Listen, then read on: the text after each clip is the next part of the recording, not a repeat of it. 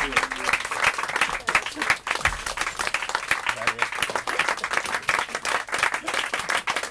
słyszałem nic.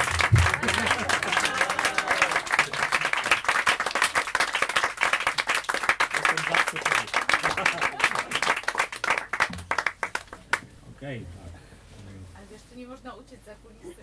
No właśnie to ten problem do nas, wiesz, tu celowo to zrobiłeś, żeby wykonawców, prawda, Eksploatować do kogoś. zmuszać do tego, że przeżywali bisowanie po prostu. Przeżycie, to przeżycie było.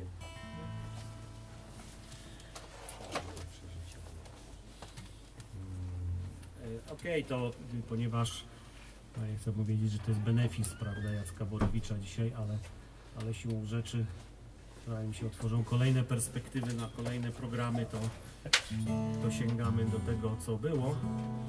E, I taką piosenkę, no po prostu piosenkę, natomiast, e, natomiast napisałem ją, ona powstała w takim zabawnym momencie, ponieważ, ponieważ miałem też taki epizod grania na ulicy we Wrocławiu i to historycy sprzeczają się, do tej pory są spory w, literaturze dotyczące tego, czy to był pierwszy zespół uliczny we Wrocławiu, czy drugi, bo był jeszcze taki zespół bluegrassowy e, i oni twierdzili, że oni byli pierwsi, a my, że my byliśmy pierwsi. Tak? I generalnie, generalnie ja wtedy współpracowałem z, no, z kolegami, koleżankami, którzy studiowali na, na Akademii Muzycznej, gdzieś tam się właśnie jakieś flety, tam takie różne rzeczy przyplątały.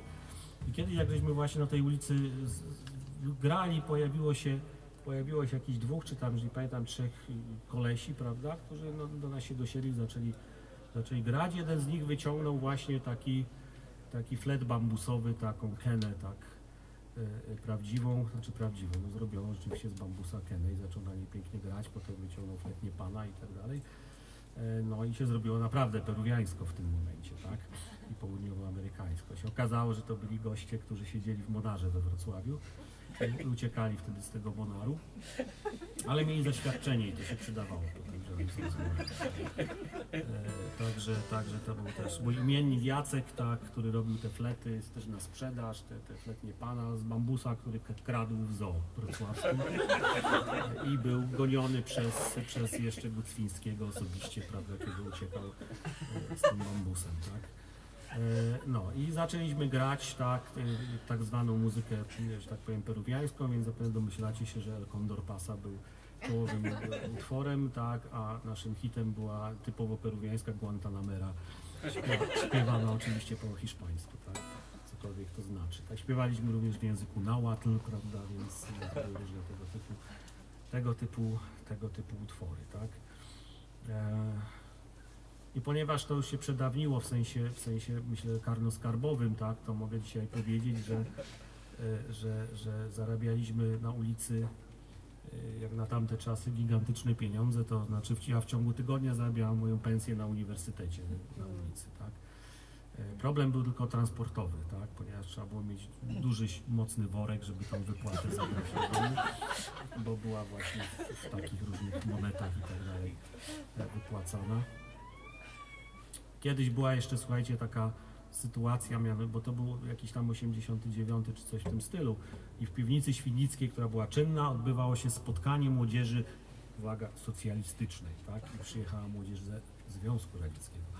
Więc cały rynek był pełen policji, znaczy nie policji, stop, milicji był, nie, a myśmy tam grali, tak? No po czym zawsze trzeba było wziąć tak, ten worek z tą kasą i to podzielić gdzieś, nie? Więc poszliśmy niewiele myśląc, tam w zaułek y, któryś z tych za piwnicą świdnicką, tak żeby się ukryć nie, w tych warunkach. Wysypaliśmy tę tą kasę na, na, na, na bruk i zaczęliśmy ją liczyć, nie? I na to przychodzi patrol, tak? Siedzi trzech, tak, trzech nas wtedy było właśnie kolesi. Na szczęście tak zwane grube mieliśmy policzone i schowane, zostały tylko drobne, tak? Więc może to nie, nie szokowało. E, ale nie zapomnę właśnie komunikatu, jaki nadawał ten tych milicjantów krótkofalówką, że on tu znalazł właśnie takich trzech, nie? Przy czym dwóch jest z Monaru, a jeden student prawa. Nie?